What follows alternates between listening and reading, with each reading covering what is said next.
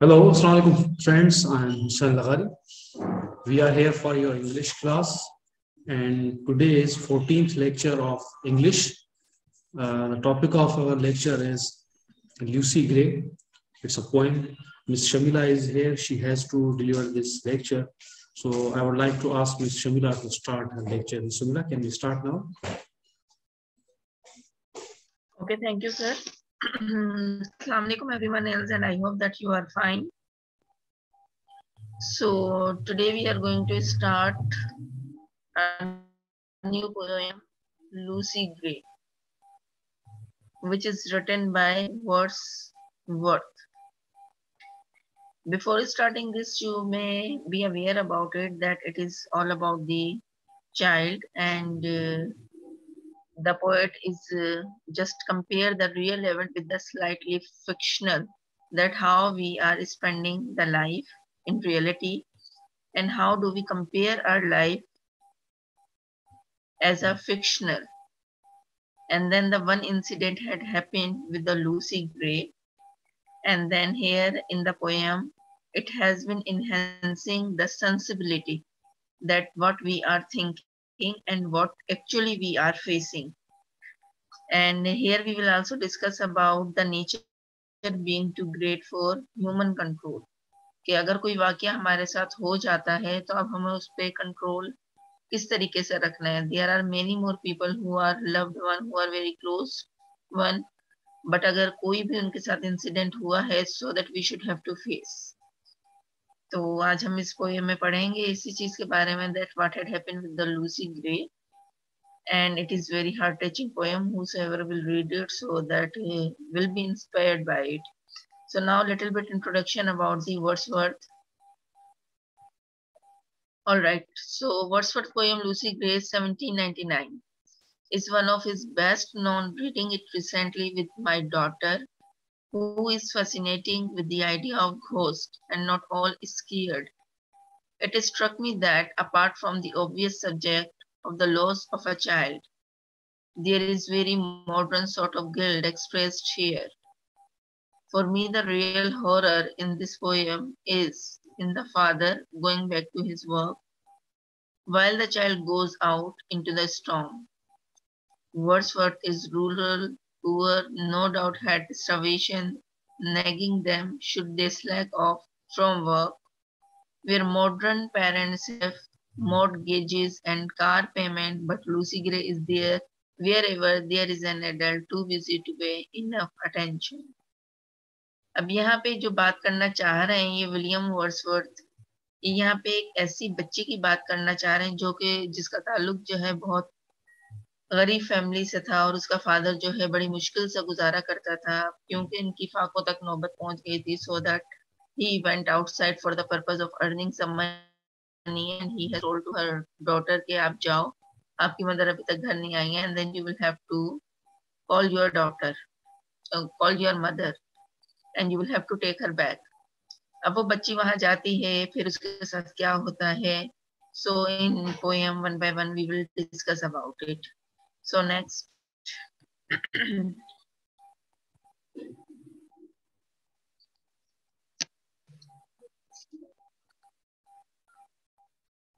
All right, now we are on stanza number one. It is written oft, which means that often. I oft I heard of Lucy's gray, and when I crossed the wild, I chanced to see at break of the day. The solitary child. What we are going to discuss over there, we are going to discuss the first suspense first of all in first stanza that Lucy Gray has heard something. Heard something means somebody has given the order to him. And when I cross the word, so that according to the order, she has to obey and she has gone out for the obeying purpose. I chanced to see at break of day and she has taken a chance because the problem and somebody has told him uh, about to go out obviously who he was his father uh, her father and then he has uh, told her daughter that you will have to go out. What is the reason? In further instances you may know that why she has left her home then a solitary child. Solitary child eh, here they are talking about the strongest one a person who is strong enough a child who is strong enough to go out and then she has gone out. But there is a we can say that the solitary child somehow is telling about the suspense as well that how she has left the home that after this she has faced the problem. There are some purpose is behind it और ये भी देखा जाएगा कि किसने भेजा है उन्हें और किस वजह से भेजा है और फिर बच्ची के साथ क्या हुआ है। So that we know about it अब फ़र्स्ट स्टैंड में they are not clear to us कि क्या हुआ बच्ची के साथ। Here they are just discussing when I cross the world okay so this stanza provide the setting obviously जगह की बात की है, कहाँ बच्ची घर में है, कहाँ बच्ची घर से बाहर जाती है। And foreshadowing for the rest of the poem और फॉर शेडोइंग की यहाँ पे बात की है। That what would happen resting of the poem, resting of these stanzas with her. The reader knows that Lucy Gray has been heard of before and often. The speaker then claims that he saw the solitary child right at break of day. At this point, the speaker does why he has heard of Lucy Gray, nor does he reveal why seeing her is worth mentioning. The first stanza simply strikes up curiosity about Lucy and set her up an important figure. First stanza में once again I am repeating that कि वो यहाँ पे पूरी story आपको नहीं बताएगा कि what had happened with that girl जबकि कुछ ऐसा हुआ है which we will understand in other stanzas यहाँ पे सिर्फ़ उसने क्यूरियोसिटी दी है द सस्पेंस क्रिएट किया है कि बच्ची घर में है, बच्ची को कोई कहता है बाहर जाने के लिए and then she has gone out and then later on we know better about it that what would happen with her यहाँ पे जो विलियम वर्ड्सवर्थ हैं they are not claiming they are not revealing to anyone else that what had happened to her let me see in next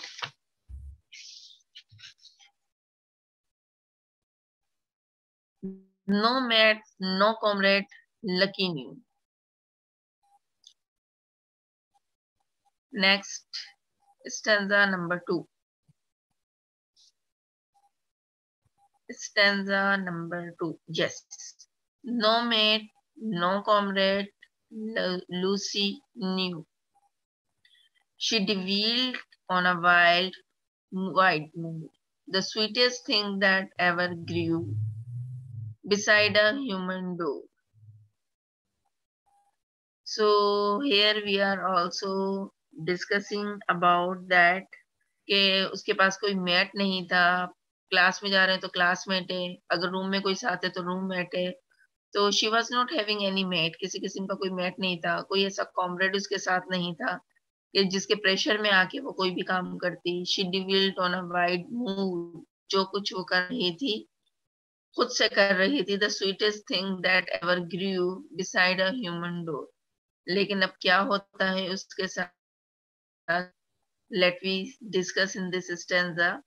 So this stanza continues to create a curiosity about Lucy. The speaker says that she has no met, no comrade. The correspondence with his description of her in the previous stanza as a solitary child. यहाँ पे भी William Wordsworth ने एक suspense create किया हुआ है कि जब उसका कोई जानने वाला था ही नहीं उसका कोई मैट नहीं था उसका कोई कॉमरेड नहीं था तो फिर भी क्या है वो सॉलिटरी चाइल्ड है Then he says that she dwelt on a wide moor. It is a strange thing to imagine a child with no friends and no family. जब बच्चा घर से बाहर जाता है तो उसके फ्रेंड्स भी होते हैं, बच्चा घर के अंदर है तो ऑब्वियसली उसकी फैमिली भी है she is only the one के उसके पास कुछ भी नहीं है alone and living outside one might even mother father तो ऑब्वियसली है but resting of the family member she doesn't have one might begin to think that he is describing some kind of feral child, but line 3 of this stanza contradicts that idea entirely. The speaker says that she is the sweetest thing that ever grew beside a human. Sweetest thing that ever grew beside the human door. Right? तो यहाँ पे ये क्या कह रहे हैं कि इस स्टेंजा की थर्ड लाइन में कि स्पीकर जो स्पीकर है said that she is the sweetest thing that ever grew beside a human door. She is only the one. एक ही थी वो and then nobody can describe it क्योंकि अगर कोई भी बच्चा होगा और to whom we are going to describe तो हम उसे रिजेंबल करेंगे उसकी गैदरिंग से कि भाई ये उसका फ्रेंड है और ये उसके फैमिली मेंबर हैं और so on but she was not having animal else so इस तरह के जो चाइल्ड होते हैं they are only few they are also called sweetest all either they are also spending the life without any friends without any else तो life can be very difficult for that person but somehow we can say that the child can be adjusted so let me see कि यहाँ पे इन्होंने Lucy को क्या किया है? Sweet darling child कहा है। और अगर लास्ट लाइन में देखें beside a human door it seems strange that she did not grow inside the door since she is a human child अब ज़ाहिर है, एक बच्चे को मुस्तकिल घर में तो नहीं रखा जा सकता ना। उसको बाहर भी निकालना है, उसको बाहर की दुनिया के बारे में भी आगाह करना है। तो यहाँ पे जो William Wordsworth has already mention that she dwelled among the more The two description cause the reader to wonder about Lucy and her strange identity. कि लूसी है, लूसी भी नॉर्मल बच्चों की तरह एक ज़िंदगी गुजार रही है, उसके बावजूद हैरत की बात यह है कि उसके कोई फ्रेंड नहीं है, उसका कोई जानने वाला नहीं है। तो that is a very very strange thing कि जब आप बाहर निकलते हो तो आपके फ्रेंड्स ऑटोमेटिकली बन जाते हैं। आप कोई सोच के नहीं लिखते कि मैंने फ्रेंड बनाना है या मेरे फ्रेंड्स बनेंगे। लेकिन ऑटोमेटिकली जब आप किसी से बात होती है so that you are very close to someone else now next stanza number 3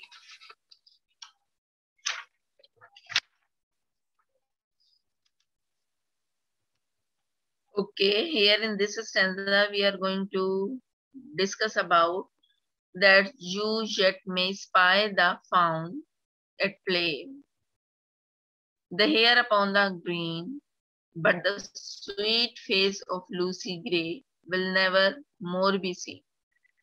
अब यहाँ पे क्या बात हो रही है कि ये वाली जो रात है, ये बहुत ज़्यादा मतलब तूफानी रात होगी। उसके फादर उसे कह रहे हैं कि ये बहुत ज़्यादा तूफानी रात होगी।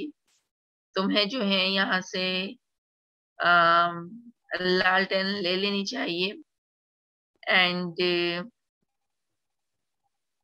he was just telling about that your mother will go outside and then you should have to move towards it and what would happen with her that uh, you uh, yet may spy the found at play. कि मतलब उसके जो father है वो इस तरीके से उसे मोटिवेट कर रहे हैं। फाउंड कहते हैं किसी भी हिरन के बच्चे को that is called fawn that you will have to do the things like an animals और वो लूसी से कहते हैं कि पता नहीं क्यों मेरा दिल कह रहा है कि वी विल फेस समथिंग कुछ होने वाला है। एंड इसके अलावा वो ज़्यादा कुछ नहीं कहते।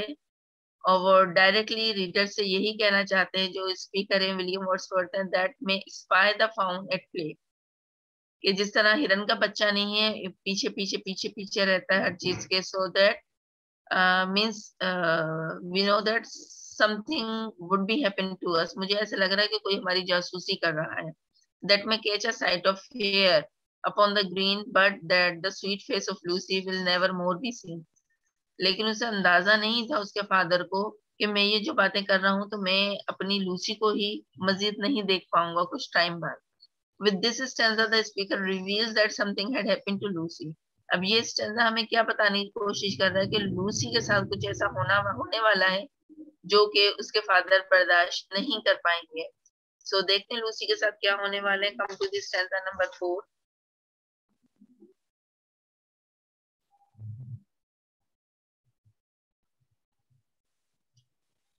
stanza number four tonight will be a stormy night yes stanza number four में क्या कह रहे हैं tonight will be a stormy night you to the town must go and take a lantern child to light your mother through the snow अब उसके father यहाँ पे क्या बताने की कोशिश कर रहे हैं कि ये जो रात है ये बहुत ज़्यादा तूफानी रात है स्ट्रॉमी नाइट है तुम्हें जो है ये लालटेन लेकर जाना है मेरी बच्ची और अपनी मदर को जो है वो ढूंढना है कि वो कहाँ चली गई हैं क्यों वापस नहीं आई अभी तक।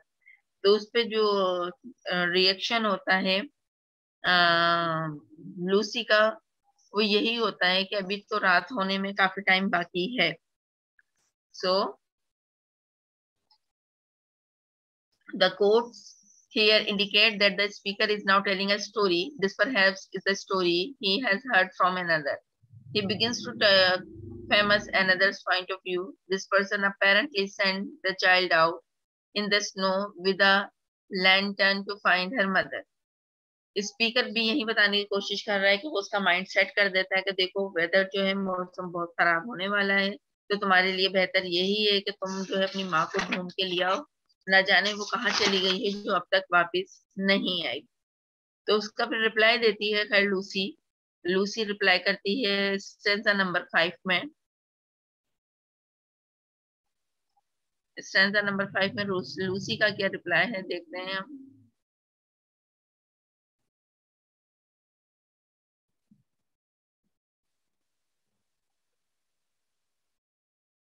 Stanza number five. That father will I gladly do. Stanza number five. This scarcely afternoon. The minster clock has just struck two, and yonder is the moon.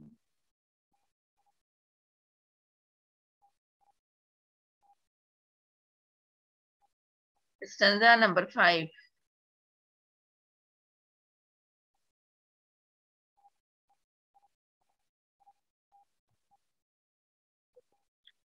Stanza number five. Okay, let me see कि Lucy जो है what she reply. The father will I gladly do. This is scarcely afternoon. यानी कि वो happily ये काम करना चाहती है वो चाहती है कि वो जाए अपनी मदर को ढूंढे लेकिन वो कहती है अभी तो बहुत ज़्यादा धूप है अभी तो धूप है कोई मतलब तूफ़ान के आसार मुझे नज़र नहीं आ रहे the minister clock has just struck two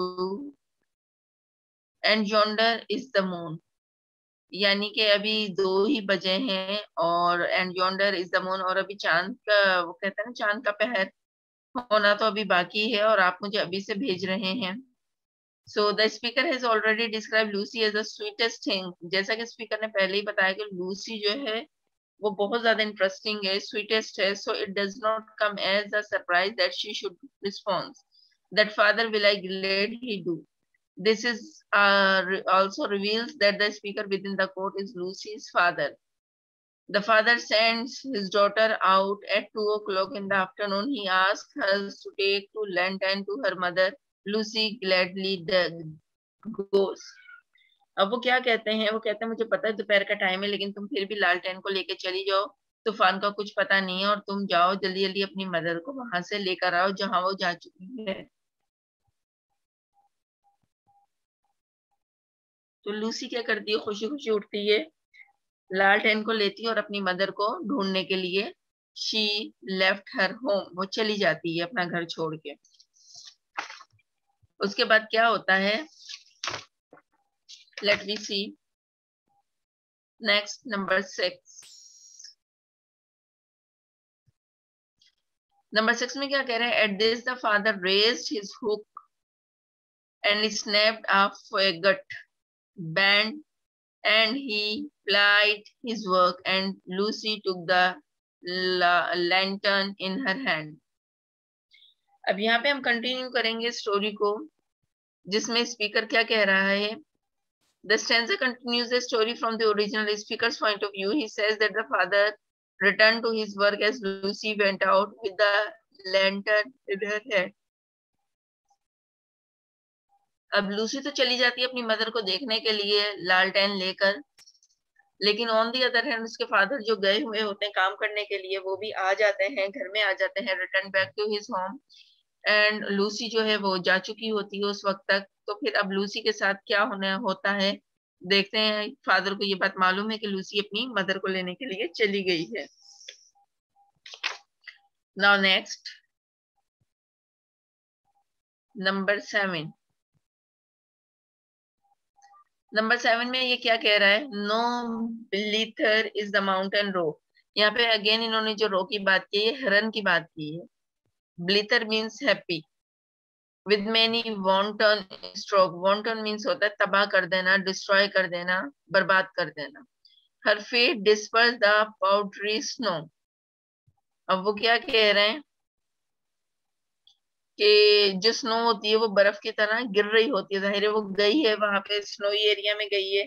तो वहाँ तो ऐसा होगा ना कि खाली बर्फ़ जमी भी नहीं होगी बल्कि बर्फ़ गिर भी रही होगी। That rises up like a smoke और जिस तरीके से वो ऊपर उठ रही थी ऐसे लग रहा था जैसे धुआँ उठ रहा हो। तो so, देखते हैं क्या लिखा है इस एक्सप्लेनेशन में। This stanza describes Lucy's as walking along slowly. अब लूसी को तो पता है कि बहुत ज़्यादा मेरे पास टाइम रखा हुआ है तो मुझे धीरे धीरे ही जाना चाहिए। तो लूसी अपने आराम आराम से जा रही होती है long and slowly and carelessly kicking up the powdery snow और स्नो पे क्योंकि वो चल रही होती है तो वो बार बार अपनी टांगे उस पर मार रही होती है केयरलेस होती है, बहुत ज़्यादा उससे कुछ ख्याल नहीं होता। और ये उसे इतना कॉन्फिडेंट है कि वो जाएगी और अपनी मदर को लेके आ जाएगी। Now, these descriptions of Lucy help to continue to paint a picture of a sweet and innocent child.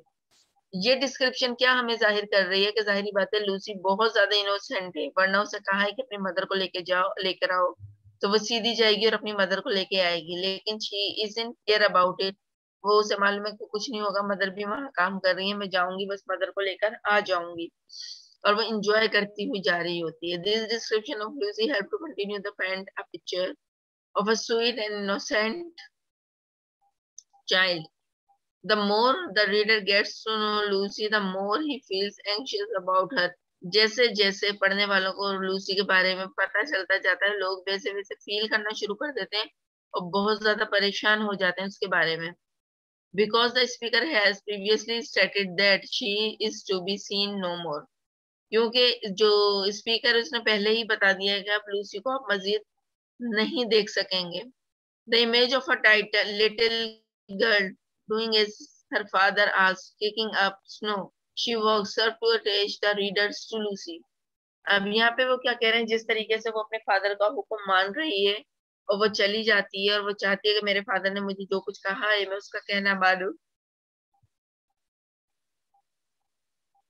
तो वो इंजॉय करती हुई जा रही होती है, वो स्नो में किक मारती है, वो धीरे धीरे चलती है और वो जो है serves to attach the readers Lucy अब इस तरह के जो वो काम कर रही है तो जो भी उसका पढ़ने वाला है लूसी का the person is impressed by Lucy next is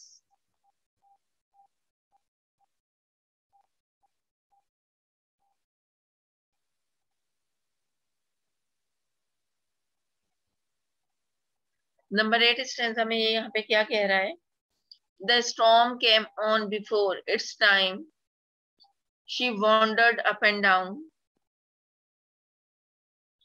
and many a hill did Lucy climb, but never reached the town. अब यहाँ पे क्या कह रहा है कि वक्त से पहले ही यानी कि जो दोपहर के टाइम वो जाती है घर से बाहर उस आइडिया ही नहीं होता कि वो जो स्टॉम है वो ज़रूरी नहीं कि रात में आए। जो स्ट्रॉम है वो घर से बाहर निकलने के थोड़ी देर बाद ही आ जाता है। She wander up and down उसे कुछ समझ में नहीं आ रहा होता। वो कभी ऊपर जाती है, कभी नीचे आती है। And may hill did Lucy climb और जो वो वहाँ पे हिल होती है, वो उसको मदद करती है ताकि जिसके थ्रू वो ऊपर चढ़ सके, ऊपर जा सके। But never reach the town लेकिन उसके बावजूद इतनी देर हो चुकी होती है, वो टाउन पहुँच ही नहीं पाती है अपनी मदर को लाने के लिए। With the first line of his stanza, the speaker reveals that will happen to Lucy. The storm,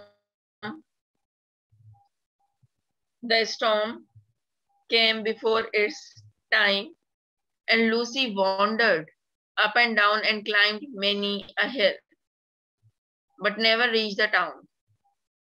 यहाँ पे यही बताने की कोशिश की गई है कि something will happen to Lucy क्योंकि अचानक से क्या हुआ स्टॉर्म आ गया और इस स्टॉम की वजह से उसको मालूम है कि वो मतलब अपना जो रास्ता है वो कवर नहीं कर पाएगी।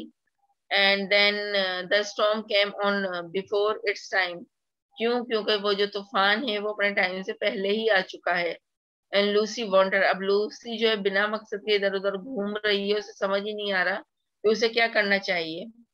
But never reach the town लेकिन वो अब टाउन तो जा ही नहीं सकते तूफ़ान के बाइस with this description the readers can imagine poor little Lucy अब इस डिस्क्रिप्शन से तो आपको पता चल रहा होगा कि वो जो लूसी है, वो कितनी बुरी तरह फंस चुकी है।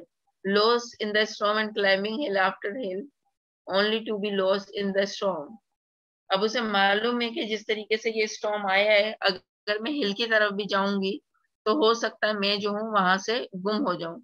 तो वो नहीं जाना चाहती थी, क्योंकि उसे ये चीज़ क्लिक कर रही थी कि हो सकता है मैं वहाँ पे जाके गुम हो जाऊँ, तूफ़ान में गुम हो जाऊँ, मैं दोबारा वापस नहीं आ सकू। नेक्स्ट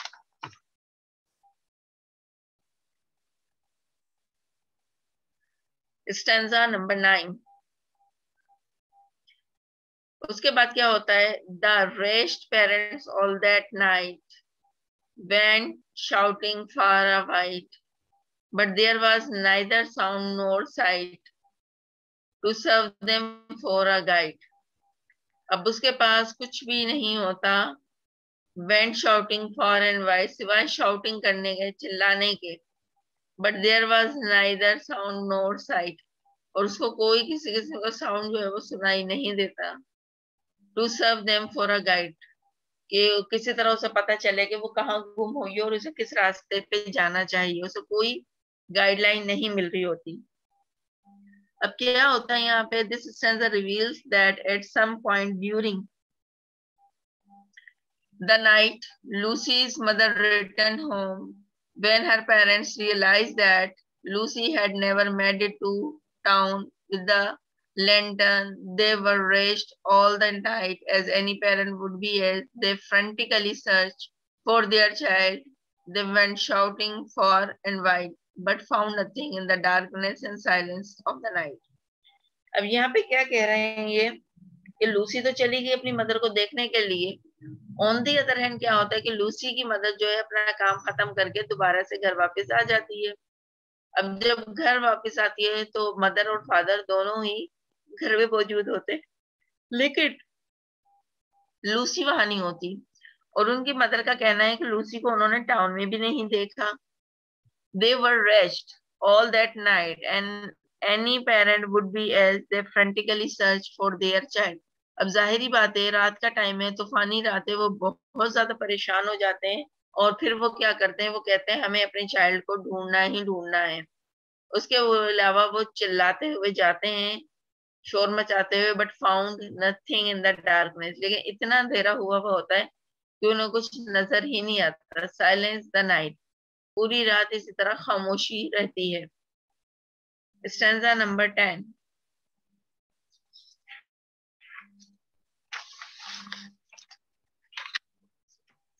stanza number ten में क्या कह रहे हैं ये?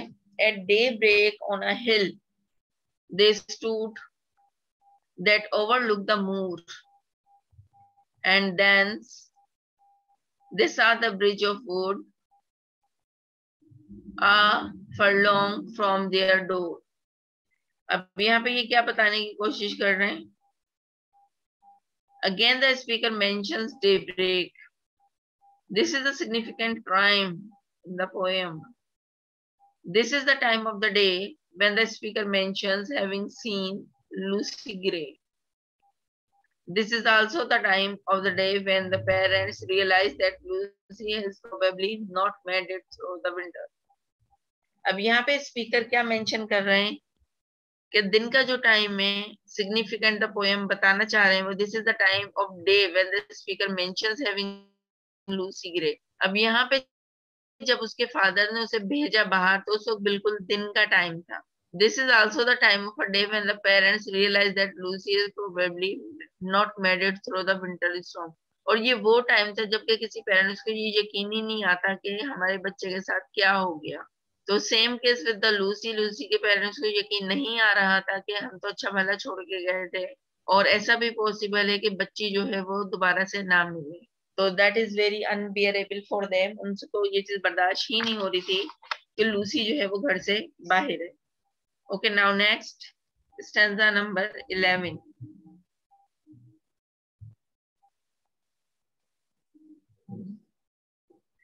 Stanza number 11 में क्या कह रहे हैं ये? They wept and turning homeward cried. अब उनके अलावा सिवाय रोने के और कोई चारा नहीं था।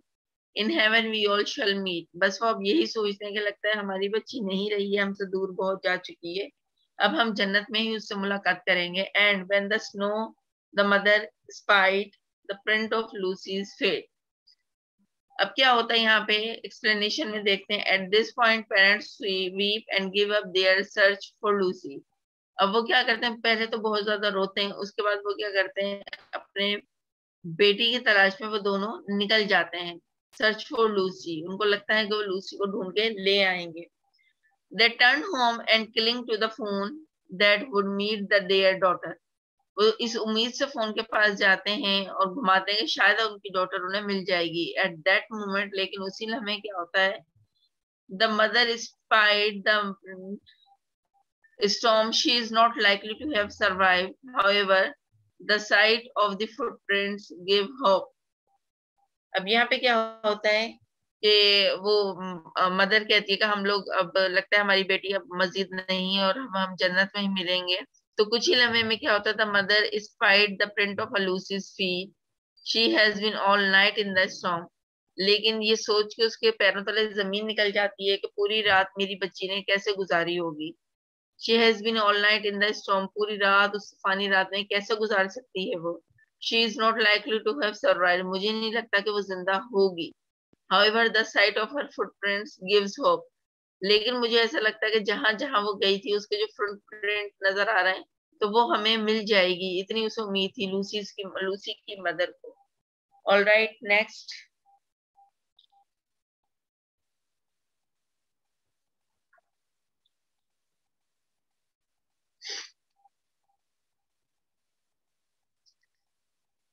Okay, then downwards from the steep hill edge, they track the footmarks small and through the broken hot horn hatch and by a long stone wall. अब यहाँ पे क्या होता है with this the parents begin to follow her footprints अब वो जो parents उसके होते हैं लूसी के वो कहते हैं ये जो इसके पाँव के जो फुटप्रिंट है हम इसकी मदद से अपनी बच्ची को ढूंढ लेंगे They see that she walked through the broken, hot, horn, hedge and by the long stone wall अब वो उसके पीछे पीछे जाते हैं तो एक हेज की तरफ़ वो चले जाते हैं जो नॉर्मली घोड़ों वगैरह के लिए बनाया जाता है. With hope their hearts they continue to follow her foot step उनको लगता है कि उनकी बेटी उनका जो दिल है वो वहीं पे मौजूद होगा. By now the reader is likely fully sympathising with the parents यहाँ पे क्या है, जितने भी उसके रीडर है, उसके चाहने वाले हैं, वो सब बड़े परेशान हो गए और उनकी सारी हमदर्दियाँ जो है वो लूसी के साथ हैं। The feeling of frantically searching the weeping accepting her death and renewed hope at seeing her footsteps are all feelings the readers can either relate to or at least imagine. अब यहाँ पे वो क्या कर रहे हैं? सिंपथाइजिंग के words use कर रहे हैं, इसके अलावा वो क्या कर रहे हैं? उनकी जो फीलिंग है, वो बड़ी उत्सव वाली है, वो बहुत ज़्यादा रो रहे हैं और इतना रो रहे हैं कि उनको लगता है कि उनकी बच्ची अब इस दुनिया में नहीं रही है। And the renewed hope that seeing her foot step लेकिन उन्हें ये भी उम्मीद है कि ये जिस तरीके से हम फुट स्टेप उसके देख रहे हैं तो शायद किसी एक पॉइंट पे हम वहाँ पहुँचे और वहाँ हमें हमारी बच्ची मिल जाए लूसी ग्रे उनकी जो फीलिंग्स है और रीडर्स वालों की जो फीलिंग्स है पढ़ने के बाद तो उनकी सेम फीलिंग्स है, क्योंकि उनको भी ऐसा लगता है कि अगर ये स्टेप बाय स्टेप जाएँगे फुट स्टेप्स को फॉलो करते हुए तो लूसी गिरे उन्हें मिल जाएगी। Next stanza number thirteen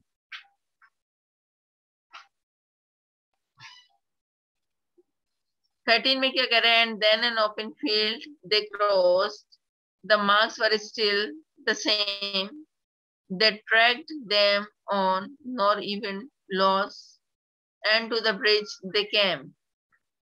अब यहाँ पे क्या बात हो रही है? The parents track friends all the way कि पेरेंट्स जो हैं वो उसके पाँव के निशान देख रहे हैं हर जगह देख रहे हैं कि जहाँ जहाँ उन्हें किसी भी ट्रैक पे नज़र आ रहे हैं उनको पाँव के निशान across the field to a bridge यानी कि वो फ़ील्ड को देखते हुए भी जा रहे हैं वो ब्रिज को भी क्रॉस करते हुए जा रहे हैं the readers can imagine the way the parent must be feeling as they followed their daughter और उसके जो पेरेंट्स हैं, उनकी वैसे ही कंडीशन हो रही है, जो किसी भी पेरेंट्स की हो सकती है, कि अगर उनका बच्चा कहीं गुम जाता है और वो नहीं मिलता तो एक पेरेंट्स की क्या कंडीशन होगी अपने बच्चों के लिए? Daughters for prints and were forced to imagine her trudging through the snow from lost and afraid लेकिन क्योंकि फुटप्रिंट के बावजूद वो बच्ची को ढूँढने में नाकाम हो जाते हैं तो उससे क्या होता है, उनको ऐसे लगता है कि जैसे हम लोग अपना सब कुछ गवा चुके हैं और सब कुछ गुम होने के बाद, खत्म होने के बाद उनके दिल में एक डर बैठ जाता है। और वो डर क्या है? Let we see number fourteen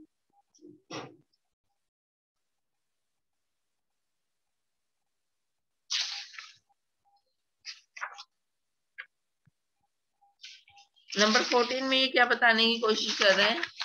They followed from the snowy bank those footmarks one by one into the middle of the plank and the further there were none. अब इस स्टैंडा में बेटा ये क्या कह रहे हैं this stanza invokes the feelings of intense loss while the parents follow the footsteps of the child. There is hope that might be found alive at the end of those footprints. Instead, the printers led to parents to the middle of the plank on the bridge and suddenly the footprints stopped the only conclusion that Lucy fell off the bridge. अब वो parents जब जाते हैं bridge को भी cross करते हैं और वो जितने भी उसके फुटप्रिंट्स होते हैं, उनको भी देख लेते हैं, लेकिन उसके बावजूद वो किसी नतीजे पर नहीं पहुँचते। अब जब नतीजे पे नहीं पहुँचते तो फिर उनके जहन में ख्याल आता है कि ऐसा तो नहीं वो ब्रिज को क्रॉस कर रही थी और ब्रिज पर से ही वो नीचे गिर गई हो। ये एक उनके जहन में ख्याल आता है कि शायद हमारी बच्ची के साथ ऐसा ही हुआ है। नाउ नंबर फिफ्टीन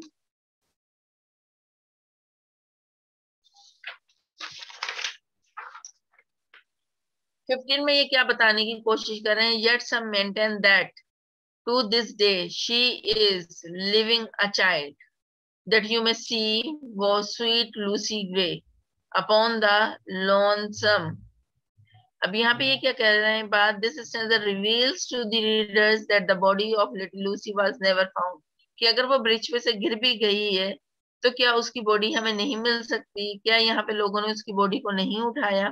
तो उनके जहन में तरह तरह के ख्याल आ रहे हैं कि अगर हमारी बच्ची नहीं है तो उसके साथ जो कुछ हुआ है जहाँ किसी को तो मालूम होगा। Had it been found people would not continue to claim that.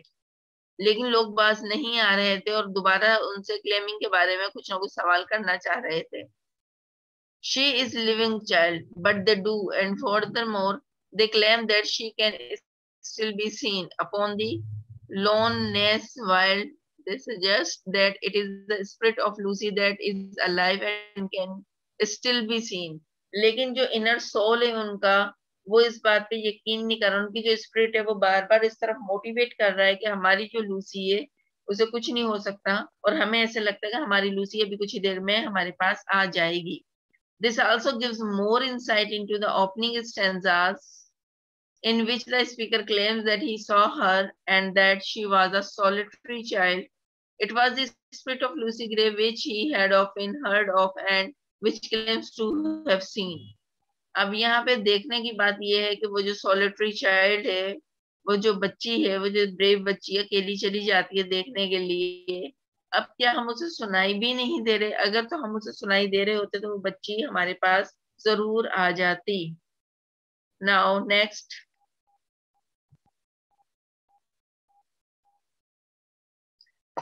इसमें क्या कह रहे हैं?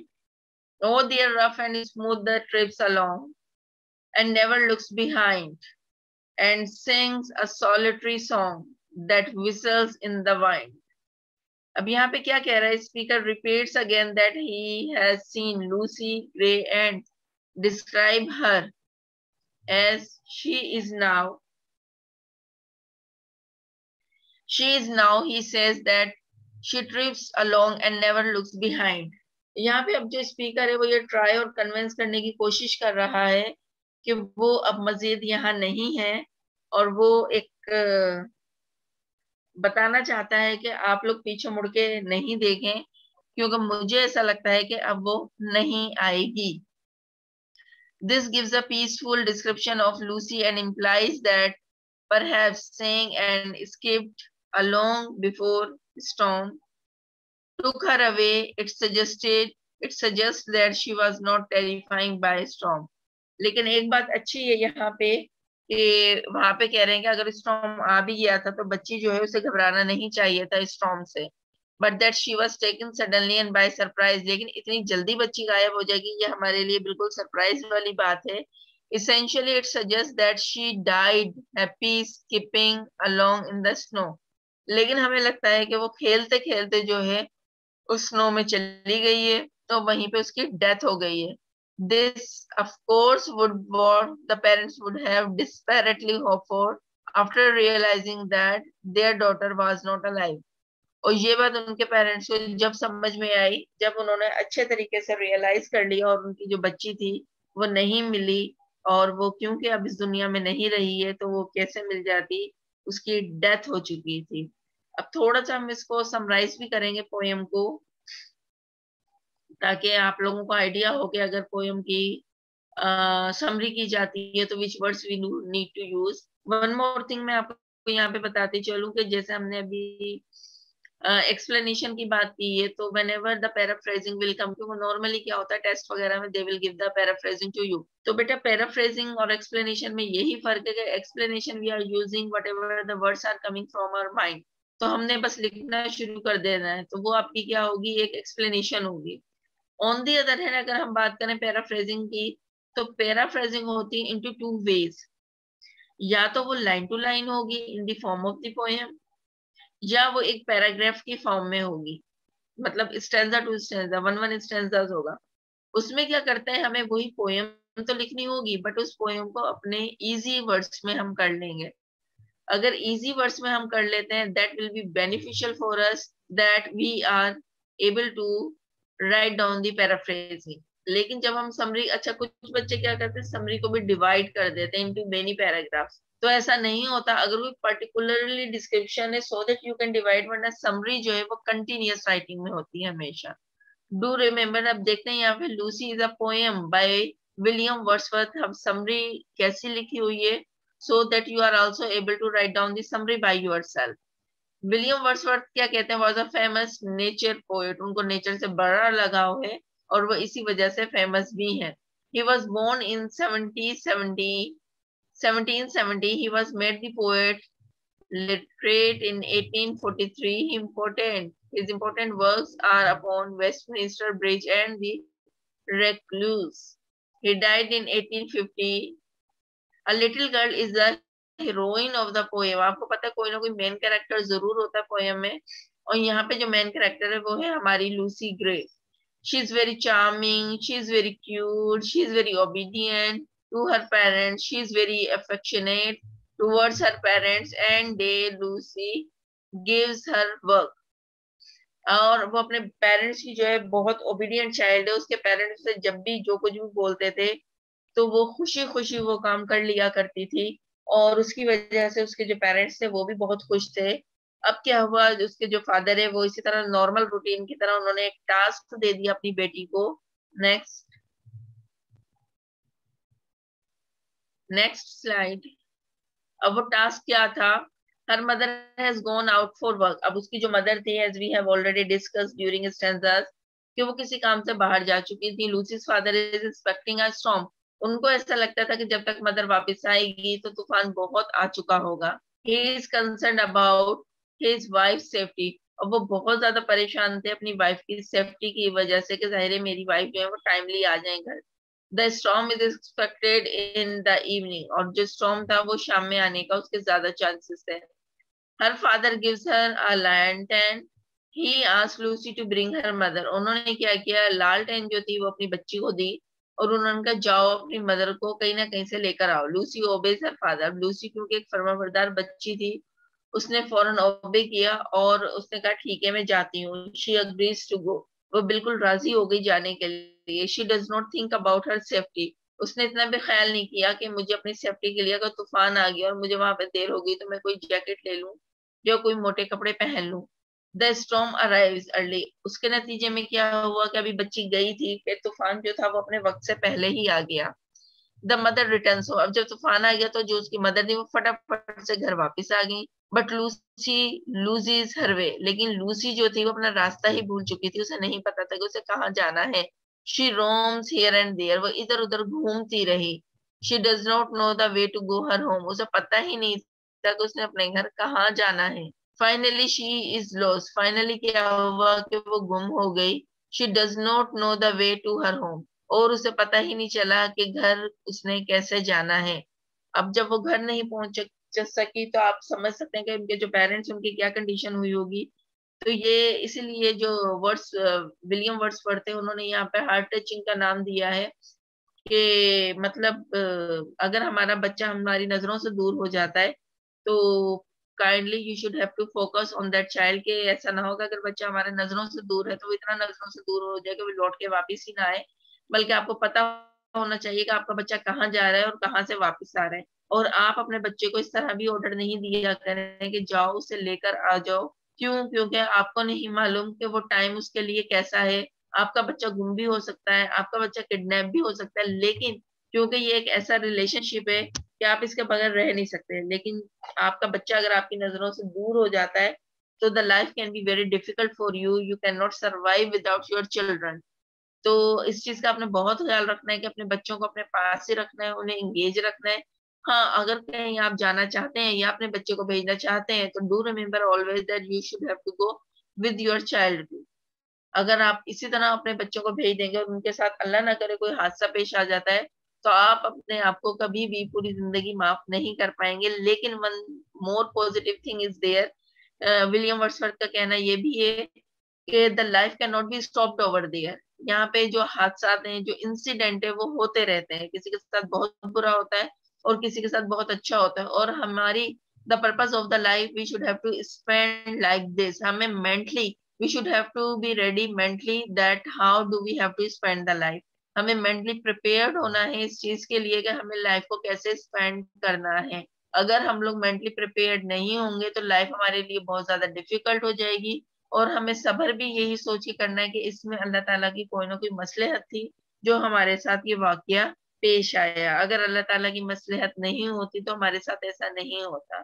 So we should be very careful about it I think the poem is very much clear to you अगर फिर भी कोई क्वेश्चन है कोई क्योरी है तो यू यू कैन आस्क इंशाल्लाह in next topic from Monday we will have to come with a new poem कल एक बच्चे ने आर्टिकल्स की बात की थी तो यहाँ पे मैं थोड़ी सी रिवीजन करवाती चलूँ आपकी आर्टिकल की वर्बली कि बेटा आपको मालूम होना चाहिए wherever we are talking about the vowels vowels क्या होते हैं? हमारे पास ए ई आई ओ यू